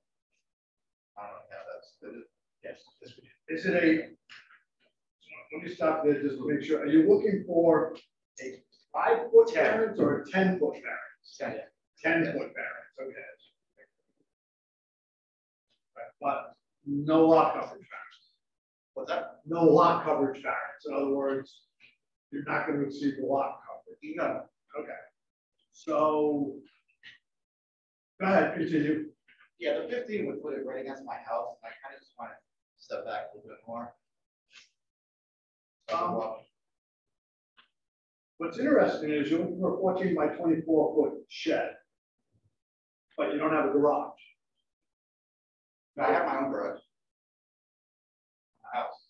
Oh, it's under the house, okay. Yeah, Got it. yeah. Why such a big shed? I just rules work. Because you realize you can put a ten by twelve shed without even being. I know, I already got a design. My neighbors have a big shed too, and I kind of.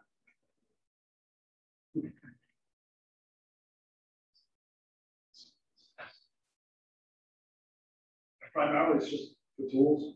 Yeah, tools, storage. Lot stuff. Yeah.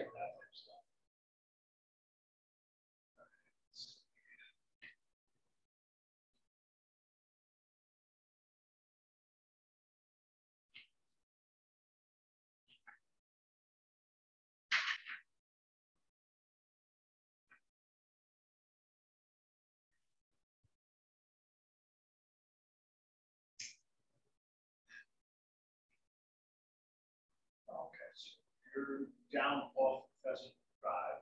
Yeah. Yep. All right.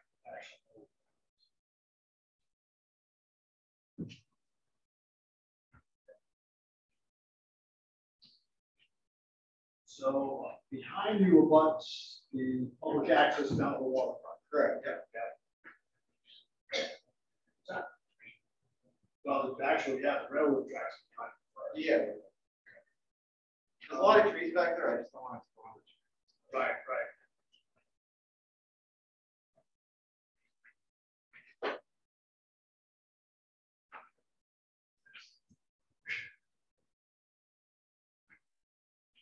See, the thing is, is that we generally have to go by the least relief necessary. Okay. That's the key word of this. And what is considered a hardship that amounts more than mere inconvenience. In other words, if you denied it, what hardship would this be on? Me? I'd have a hard time moving my cars around, that would be a hardship. Future septic system. It frees up more space. Um, why couldn't the shed be moved back further? Uh, and I'm just going by your drawing where it looks like if you went back a bit, then you could come over a not even require uh, any sort of variance. Yeah, the fifteen feet was still kind of like a normal yard. It's kind of hard to see in the diagram. No, I know. Just aesthetically, it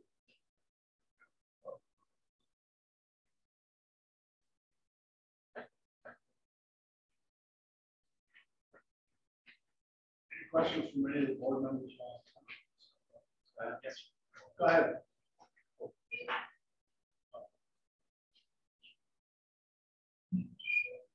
Mr. You got a one car or two car? Two. Two car garage? Yeah, go ahead. Is the garage underneath the structure itself? It's not attached or detached? Correct, yeah, the raised roof, thank you. Yeah, it's great. It's- it's, uh, This is Frank Rhodes. driving on the house. My neighbors have the same size shed, sheds. Kind of matching. They probably just built it. you know. That's my guess. Good stuff. So Look at it's, that. Absolutely. So it says on your, on the drawing that the Woodstock standard height is six foot three. Is that what you're using, the six foot three, or, or is that just a standard drawing that they provide? Um, honestly, I can't remember, it's been a while. It should say on plans. It's a standard height.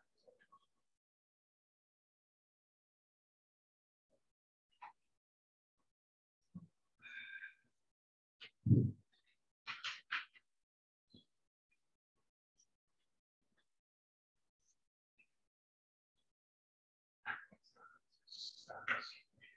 says wall height seven four five, seven feet.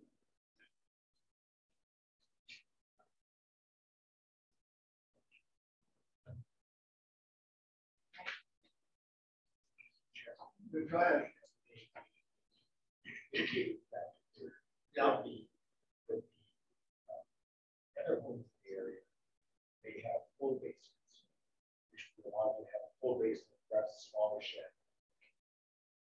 In this case, most of, or a big chunk of the basement area is taken up by the garage. Either of the basement. Probably, it's probably living space. is Yeah, it is, I have no storage. So even though the basements are detached, storage space. Shallow. It's it's limited. Yes. Very much. So can we put a condition on the electricity to the unit?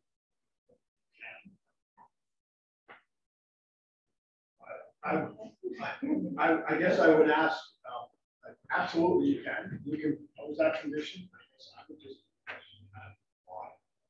So it can't be finished and used for something other than storage? Is that for electricity out there? No, Okay. So, yeah, you could, all you have to do is propose a condition that if approved, that, you know, if You're gonna go buy it, yeah. Go for it. There- There'd be no No, it's not electricity, I mean, you can have lights, it's, it's more heating. Okay, so you can propose. I, I pay enough for my house. I need the house. I'm not gonna do. So just, Okay, well, I propose a condition that no heating, that it cannot be a heated unit, the petition's approved. if the petitions. Do I have a I'll- second? That's correct. All right, we have, the motion's been made second to, um, apply a condition if approved that there be no heating, uh, just heating to, to the structure. Heating, yes. Okay, that there be no heating allowed in the structure. All in favor? Aye. Opposed? Okay. Uh, is there anything else you want to add, Mr. Cato? No, it's all. Okay. Um, Ben, is there any? Chairman, to go through the Ah, yes, I have to go through the special use criteria because it is a substandard lot of record. That's right. Sorry. So, if approved, would it still allow adequate space for fire protection? As far as. If we approve this, would there still be adequate space for fire protection? Yes. Okay. Would it provide adequate light and air between the buildings? Yes. Okay. Would it alter the character of the neighborhood or adversely affect neighboring properties? Would it create lot coverage and setbacks less than the lot, average lot coverage? Would it impose a substantial detriment to the public or immediate neighbors? All right, um, I have to ask for abutters interested parties. There is a letter. There is a letter? Yeah, I submitted a letter from your business. Okay. As the owner of two Breck Road, the budding property of fourteen Breck Road, I allow the dimensional variance for the side yard setback for the construction of a fourteen by twenty-four foot shed to be located five feet from our property. line. Ross, Lowry. Anyone in the audience that would like to speak to this petition? Okay, seeing none, Christopher Kane is before the board for tax assessors map seventeen, lot twenty-seven. Seeking a special use permit for substandard lot of record. And also a ten-foot side yard variance for the purpose of installing a fourteen by twenty-four foot shed. Mr. Board. Mr. Chairman, I'll take the, uh, special use permit for substandard water record first. Petition that the moved. Um, In regards to the requested variance, petitioner has basement with two-car garage, living space. He has no garage detached. And um, his lot coverage is only not nearly nine percent. So I don't think he's encroaching, and I think denying the storage area would imagine where they are. So I vote Thank you. Mr. Furell? Mr. Chairman, I also vote to approve the special use permit for substandard lot of record and the side yard variance for the side yard. Thank you, Mr. Reposa. We'll cover this with a, uh,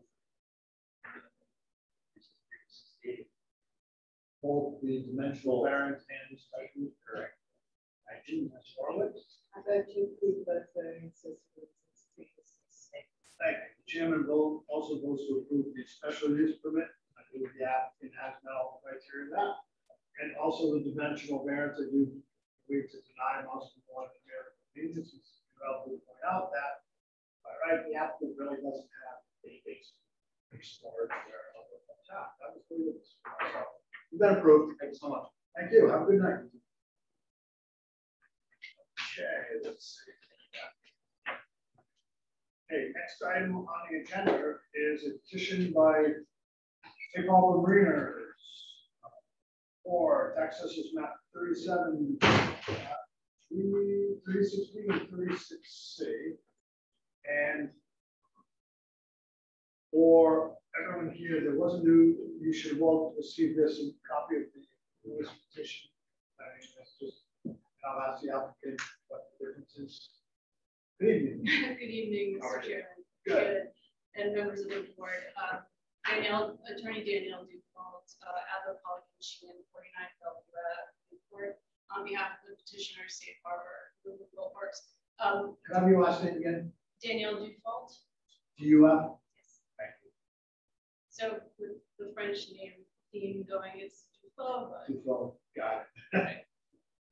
Uh, So, uh, Mr. Chairman, the uh, reason for the new packet, and I was uh, working with the assistant uh, planner, uh, Mike uh, we submitted, uh, there was a revision to the building sketch that was included in the last, on the last page of the packet. Okay. Um, There was a, in the calculations of the grading issue, um, we wanted, there was a revision we needed to make, and it, it revises the actual request for the variance. We had initially requested, um, a sixty-five foot tall building.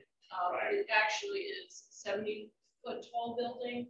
Um, uh, and I apologize, uh, working with, uh, Mr. Osceola, able to submit this revised plan that was more accurate right. to the, to the actual height.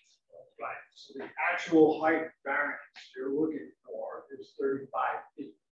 Correct. It's a Thirty-five foot height variance. Correct, we had initially applied for what would have been a twenty-five, foot- a tw- a thirty foot high Right. variance. Um, But yes, after, after punching the numbers. Right. It changed.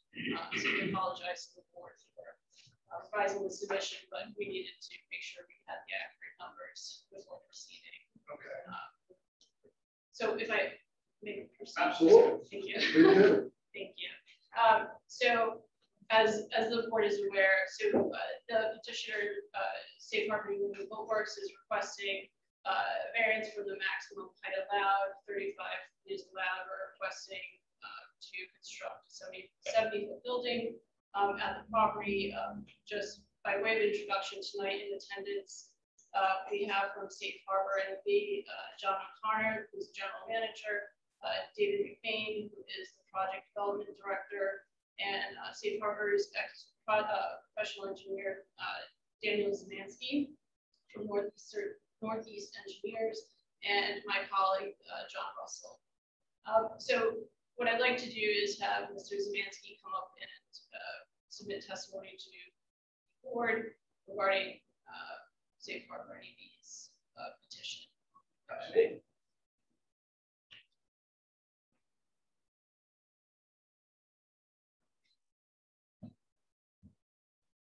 Want to tell the truth? I do. Full name and address, file, please. Dan Samansky, thirty-nine Secluded Drive, Narragansett, Rhode Island. Also a French. Okay. My client proposes to build, construct a steel frame building with a footprint of thirty-six thousand two hundred and fifty square feet. As mentioned, the height is seventy feet. The Structure is 55 and a half feet from the property line to the east. and Twenty feet from the property lines to the south and west, therefore exceeding minimum setbacks. Utilities required for this construction are available on site, as well as area for water quality for stormwater, this new proposed, uh, this proposed impervious area. Okay, so the question is, are they removing a building? Let me, let me give you a little bit of my history, okay? I go back to the Bend Boat Basin days, like this yard management down there way back in the day. Okay, so I'm very familiar with property. So are they removing any of the buildings to construct this one? Yes, so in the northeast corner of the proposed building, Yeah, although it's sort of hard to see on this scan document, yeah, you can make out a- an outline that, that makes up about a a fifth of the footprint of the proposed building. okay. That is an existing uh, structure that's going to be removed. Right. Now, as I understand it, it was recently, I believe it's a two hundred and twenty ton travel lift. Is that correct?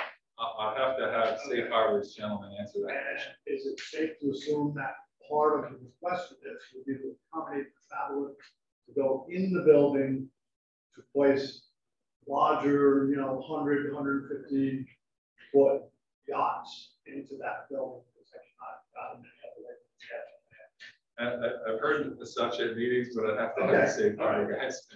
Right, okay. All right, go ahead and continue. All I have to add is that there is a property line that just about bisects the proposed structure. Right. And so that is proposed to be removed. And That is why on this document, you can see that the square footage of the lot in question changes. Yeah. That's because of the removal of that lot. Um.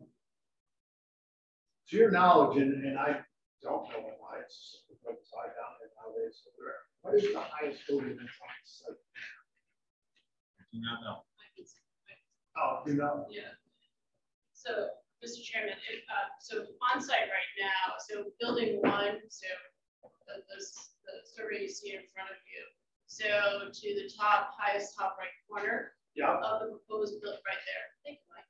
Um, so building one is fifty feet, uh, high, and, and I believe, uh, I'm not positive, but I believe that, uh, petitioner had, uh, some years ago requested a variance and received variance for that building, um, to build it. so that would be the other highest building down there, Prior to tonight's. prior to the request. Uh, Exactly, yes, yes. And it, and if, it pleases the board and Mr. Chairman, if I can bring up John O'Connor, uh, from Safe Harbor NEB to answer your other questions, which I think are, know, questions I would have too, that he can give you a little bit more background knowledge and the workings that are going on at Safe Harbor.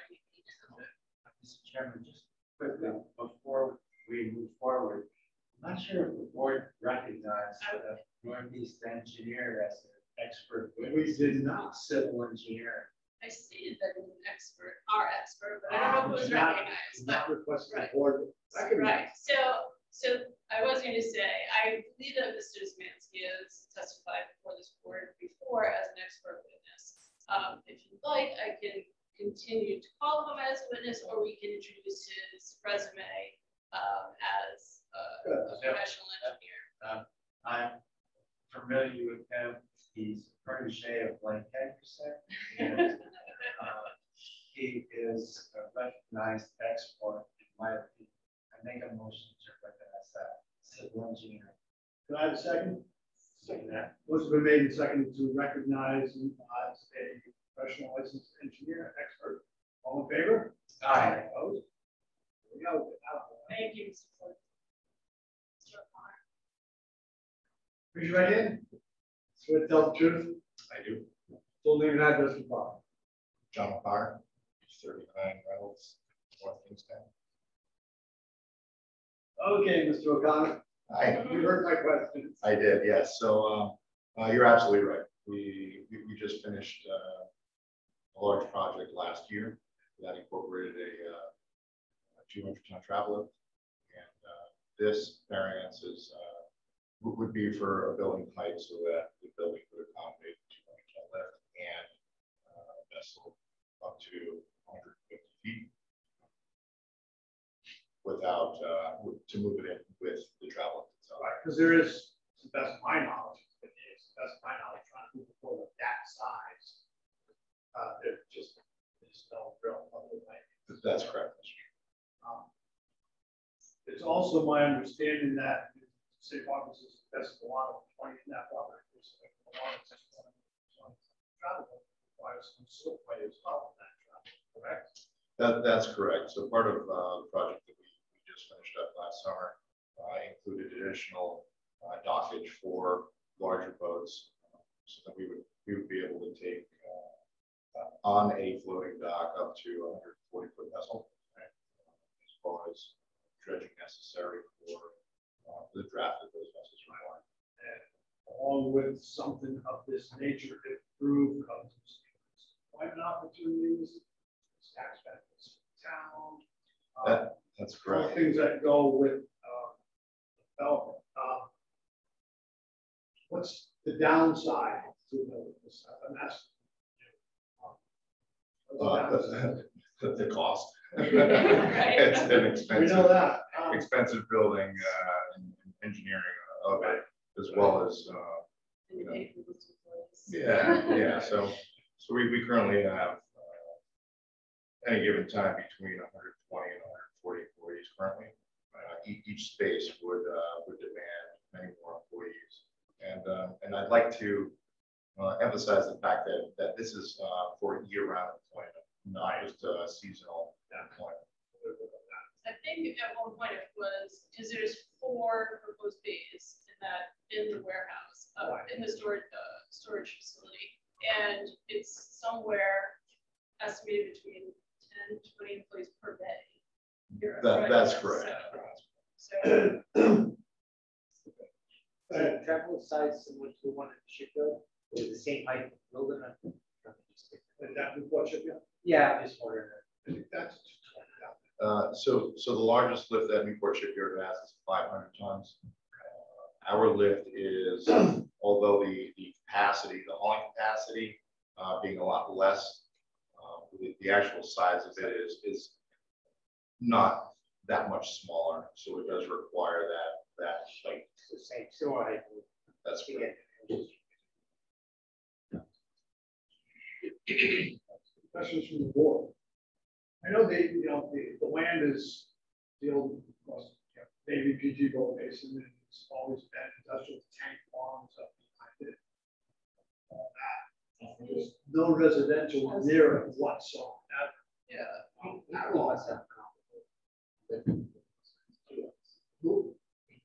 know, I don't think they do. Not as big. No, and I just get eyes high, but this is the first time something like this has come before us.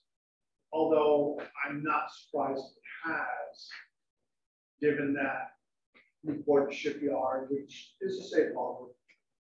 But some of the older boatyard shipyards close down.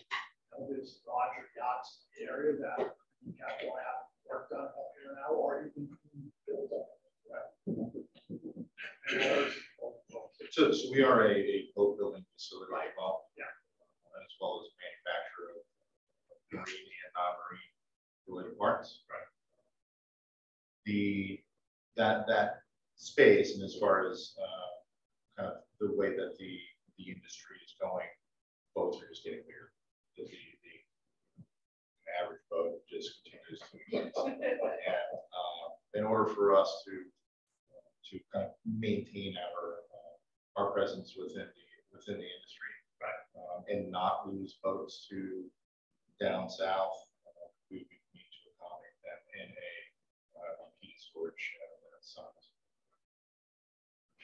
This is, if I could, Mr. Chairman, and it is its own waterfront, you know, marine, marine related services. And um, as part of, you know, the, the travel lift and the expansion, and the adding of the docks for these larger boats, uh, Safe Harbor IDB also, as I'm sure the board is aware, did a, a, a huge expansion and uh, addition to the point where, you know, there's, Well, there's. you should say that, no, I'm not.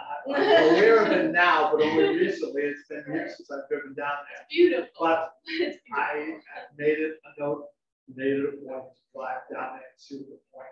I, I, I love the videos plan. As, as I understand, as I understand, not to get off the track, the point is going to be used at some point for some sort of like wedding venue or whatever.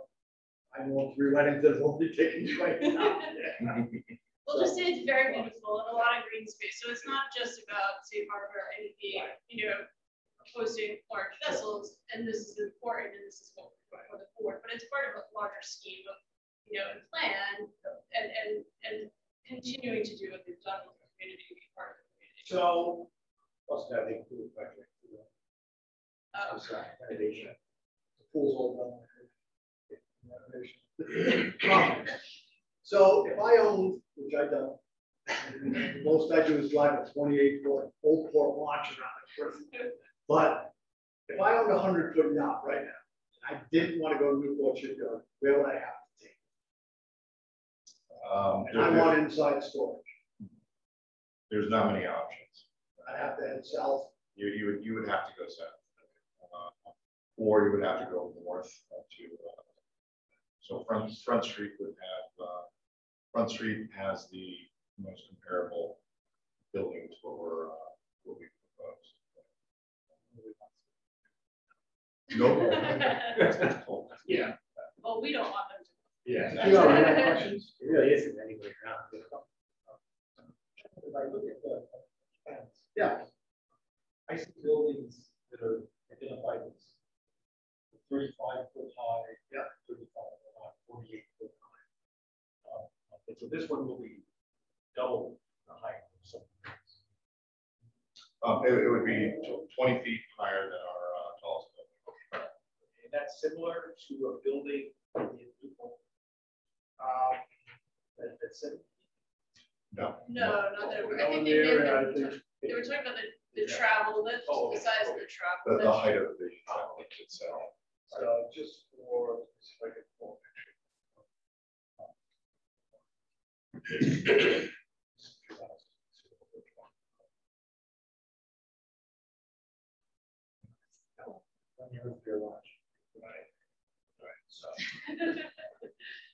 is where we travel. Oh, yeah. Okay, and basically, that's what's bigger. The only way you can get about that size. in is it. You know, yeah, that's just.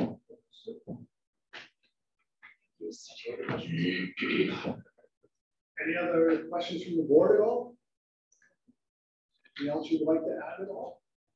Uh, no, unless the board has any further questions for, um, Mr. Spansky, Mr. Or myself.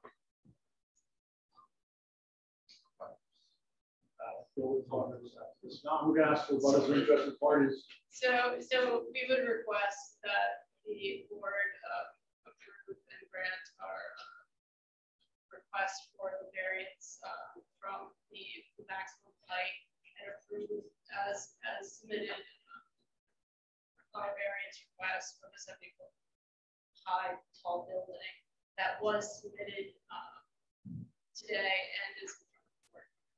All right, thank you. All right, do we have anything in the file? Any letters or anything? I can't imagine because the only letters in that area would be next. Yes, so noted on our voters list. Uh, Safe Harbor, go- Safe Harbor has three notices. Right. Um, town of Portsmouth got a notice, the state of Rhode Island got a notice, there was no rest, it, within that, abutter list, there's no. That's good. All right, and I don't, no one in the audience that wants to speak. Okay, so Safe Harbor Marine, this is before the board, this is not thirty-seven lot, thirty-six feet. Seeking a thirty-five foot height variance uh, for the purpose of building, uh, constructing a building that will be seven foot in height in order to provide the necessary vertical clearance for the marine traveler to put larger boats inside so they can be worked on, stored, et cetera. Mr. Borden. Mr. Chairman, um, this could, I could easily make a defense for special use. There's so many benefits to the waterfront area in terms of economic development, comprehensive plan. The requested relief is for dimensional variance for height. And I may have voted for one height variance once in my twenty-two years on this board.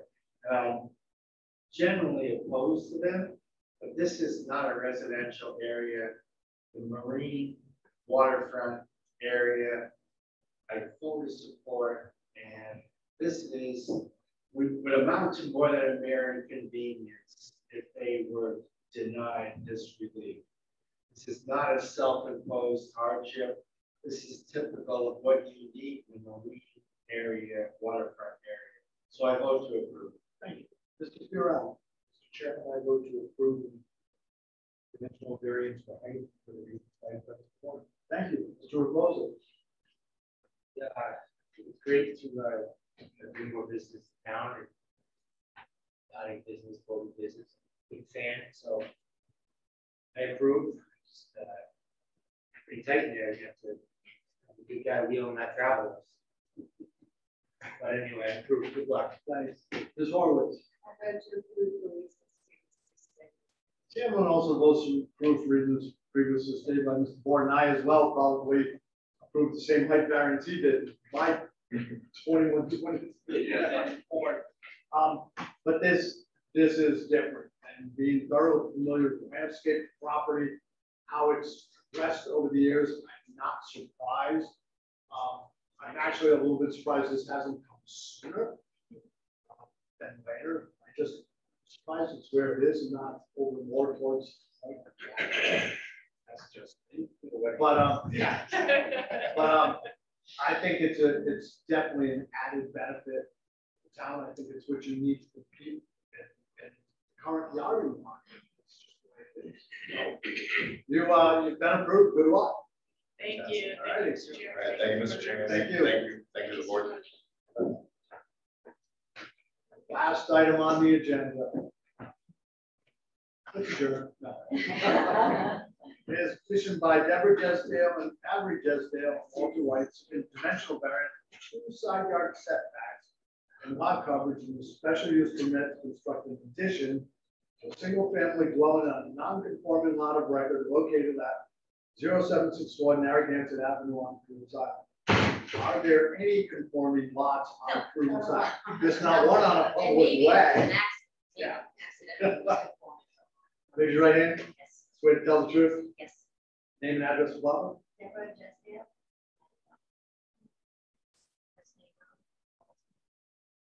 And you're gonna speak as well? Yes. All right. Well, I'm the architect of plans. Can you pull the mics down just a little? There we go. I'm a little bit taller, but.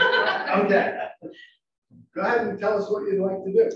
Um, yeah, so basically what we're applying for is a eight foot variance on the uh, south side and a seven foot variance on the north side. Um, all the existing footprint is there. We're looking to add basically the square off the back of the house. Okay. Um, there's a second floor existing and we're looking to pull that second floor back, back as well. Um, and we're basically just squaring it off. We're looking to extend the footprint of the house, basically to make more living space. All the bedrooms are staying the same, the front porch is staying. Um, You need a seven foot side yard Yes. variance on one side, eight foot on the other. yes. But correct me if I'm wrong. You're not encroaching any more than some of the house already does, correct? You're just We just squaring squared, we're it going off. back, and the back needs to, um, be fifty-five feet at the back. Right. So from the shortest point, not from the longest Okay. point. So we're all within everything, it's just that side setback, we're looking to extend the house and keep within the footprint. The house on the south side of it as well, um, they are five feet off the lot. They're a little bit closer as well, so there is still an egress way in there, if needs to be, there's no fences or anything. Right. Uh, And then on the north side there, there is a house directly to the side and they share a driveway, so there's not much room over there. Right, because the house now is small, it's only five hundred Yeah, fifty-three square feet. and there's three tiny bedrooms in it. I was gonna say, they- And one bath. I was gonna say, what is it, one bedroom, the entire house? Yeah, because they were all summer houses. Yes. And we're, we're not, we're in the X zone, we're above everything, so. Right. Oh, good. She's right on the main road, we're just looking to improve the quality of life. Okay, so you want to increase by six point four six percent lot coverage, okay, so. Because it's a substandard lot of record, I also have to go over the. um, What you call it, special use criteria for that, so. If this was allowed, would it allow adequate space for fire protection still? Would it provide adequate light and air between buildings? Would it alter the character of the neighborhood or adversely affect any neighboring properties? Would it create lot coverage and setbacks less than the average of lot coverage and setbacks adjacent properties? Would it impose a substantial detriment to the public or to immediate neighbors? Anyone have any questions for the applicants? Sue doesn't on this one, then I don't. Okay, all right, uh, any letters in the file there? I guess we do. Uh, Walter White? Oh, that, oh, that was just, uh, their names are on the, the house. Yeah, So okay. they- The letter is, really concern. letter is intended to serve as proof for our merged mutual agreement and support. The changes our mother is proposing own property at zero seven six four Narragansett Avenue on Prudence Island. Moving forward, we give Deborah Jesdale, our mother, permission to make all changes, so improvements to the property that she chooses.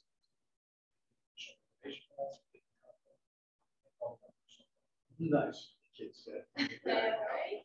Thanks. Okay, is there anything else in there? Uh, I don't see any abutters here, so. Oh, I Big room.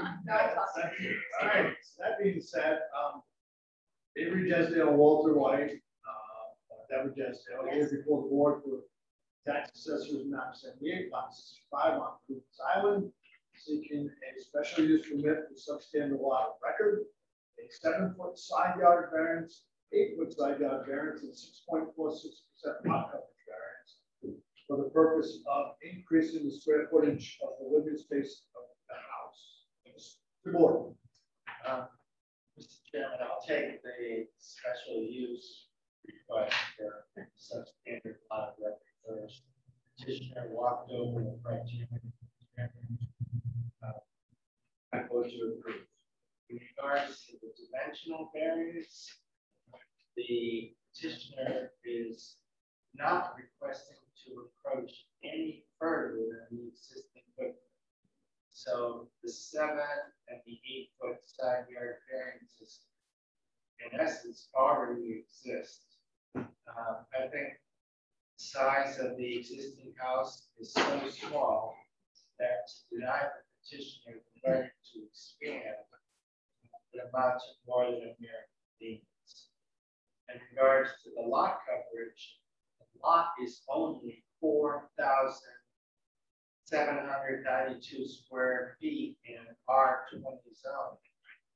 Um, Clearly a severe hardship amounting to more than. And a six point four six percent variance request is, in my opinion, more than reasonable. I hope to approve. Thank you, Mr. Curel. Mr. Chairman, I also vote to approve both side yard variances, the special use permit for substandard lot of record, and the lot coverage variance. Thank you, Mr. Reposa. I also vote to approve, uh, the variances for reasons. Much, Ms. Horowitz. Vote to approve all the variances. Chairman also votes to approve both the special use permit and the, uh, dimensional and lot coverage variance, uh, using previously stated by Mr. Borden. You all set? Thank you. Tell your children it was very nice of them to allow. them. Yeah. They have a good future ahead of them. And they're not even, they're not even here tonight. No. You sat there all night. Mhm, yes, they did. Uh, have a good night. Thank you. Have a motion to I have a adjourn. question. Seconds. Oh. I'm just gonna go. Hang, no, hang on. Uh, I got a motion made, second to adjourn, all in favor? Aye. Okay, I'll go ahead. I just had a question. Um, we- I was asked the building department, but do I, uh, does that, do I need to contact coastal resources management? You were within two hundred feet of coast of wetlands. uh, Even if You I'm not monitoring, even, okay, you're on coast. Oh, no, so okay, I'll call them back. Thank you. Yeah, because they would have told you to come here first. That's- Yeah. that's a good thing. Mike, See you guys. Thanks a lot. Thank you. thanks, Mike.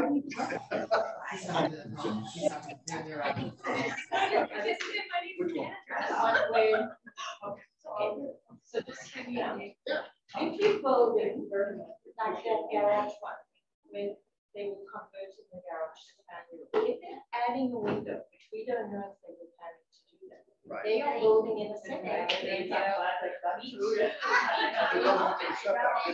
So, The garage was, if, if, but it's not a non-conforming structure, it's a conforming structure. but not if it's in a, that's why I asked if it's in a setback. If it's in a setback. Right. Okay, that was a, that,